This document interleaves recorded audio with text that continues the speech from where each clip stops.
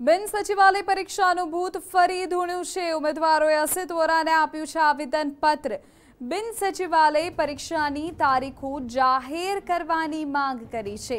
ઉમેદવારોએ નાયબ મુખ્યપ્રધાન કાર્યાલયમાં રજૂઆત કરી. નવા પરિપત્રને લઈને સરકારી ભરતી પર રોક પણ લાગી શકે છે. સરકાર પર દબાણ પેદા કરવા આંદોલનની પણ ચીમકી આપવામાં આવી છે.